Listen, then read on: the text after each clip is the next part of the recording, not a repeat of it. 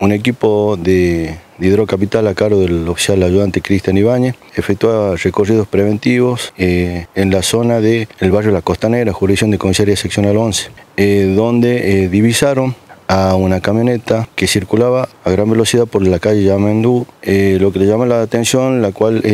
dicho rodado no contaba con dominio colocado en la parte trasera del rodado, a lo cual luego de una pequeña persecución que terminó en calle Yamandú, Rodríguez y Rotonda de la Garza. El mismo, eh, había tres ocupantes del sexo masculino, los cuales eh, en el asiento trasero eh, transportaban una escopeta calibre 1270 junto a 52 cartuchos de igual calibre. Ante tal situación se procedió a conducirlo a esta